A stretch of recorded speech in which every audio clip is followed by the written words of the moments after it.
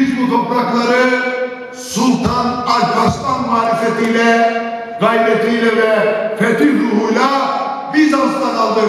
Roman Diyojen Kürt büyüdü değerli dava arkadaşlarım.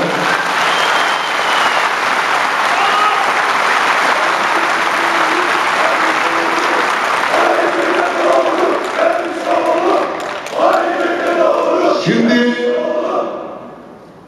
kendi topraklarımızın namusunu savunmak gibi bir mecburiyetle karşı karşıya bırakılmış toplum olma özelliğiyle tanınıyoruz Batı'da.